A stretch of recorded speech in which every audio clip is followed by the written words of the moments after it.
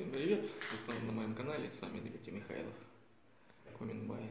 На этом объекте я вам покажу, как подключить турбированный котел в одну шахту. Выход газов и подачу воздуха в камеру сгорания для котла.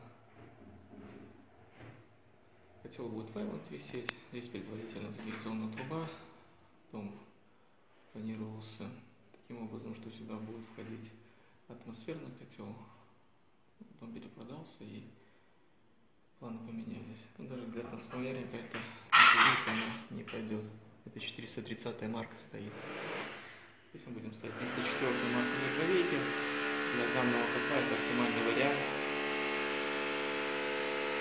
Покажу, какая труба идет. Смотрим. И, конечно, с улицы покажу, что у нас Наблюдаем. Вот такой вид у нас с улицы. Положили бетонные блоки и наверх вывели трубу. Я вам покажу, как я сделаю, чтобы газ на выходе не смешивался с воздухом и не было такого, что э, газовые потоки возвращались обратно в котельную. Окей. Ну и, конечно, смотрим, какая труба. Немножко расскажу про трубу, которая будет здесь использоваться. Перед вами стандартный комплект. Тройник-тройник тройник с ревизией идет, боковой сборник конденсата.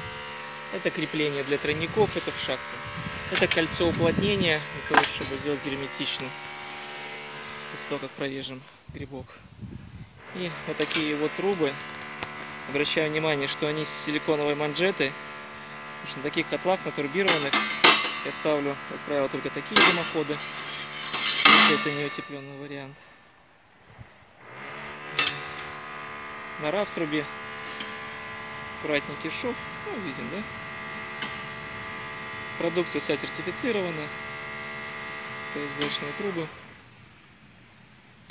Вот такая красота. Они довольно герметичные.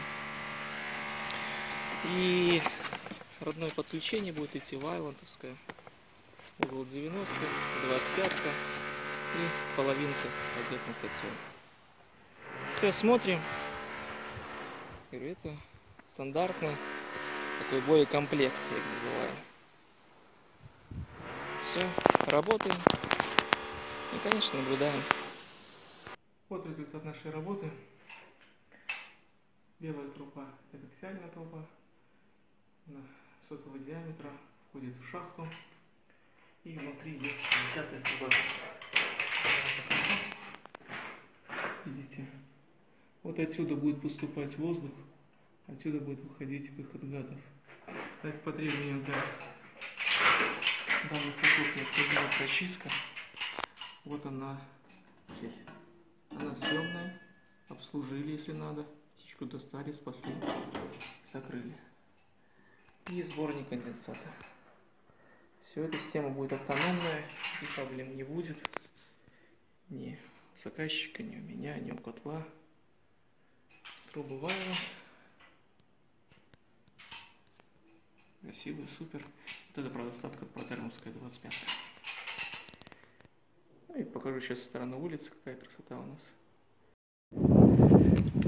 Вот такая красота у нас получилась на кровле. Вот этот грибок, он стоял, он и остался. В нем я сделал отверстие под 80-ю трубу и вывел кусочек полметра за грибок. Почему так сделал, объясняю. Вот сюда, здесь пространство остается. Между этой трубой внутренней и наружней пространство, которое необходимо для подачи воздуха в камеру сгорания. Внутри 80 -ка. То есть это тот же как Сиал. Конечно, обрезали отверстие сделали и поставили юбку кольцо уплотнения, чтобы не затекало, и под этой юбкой еще герметик. Напоминаю, что по нашим требованиям грибки и все средства защиты дымохода, они запрещены.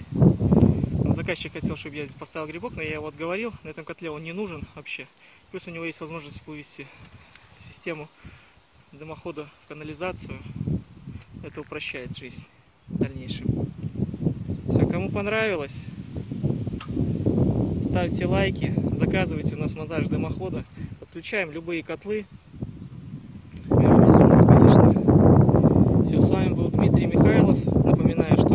продукцию, которую вы увидите, вы можете приобрести у меня в каждому отопительному прибору свой дымоход.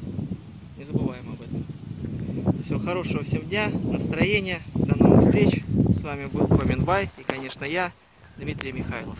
Пока.